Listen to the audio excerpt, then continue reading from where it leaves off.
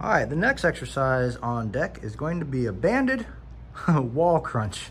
So you can see Tanya has her glutes against the door, utilizing that as a stabilizer.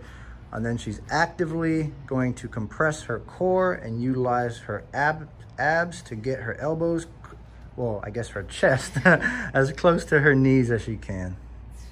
Awesome job, babe.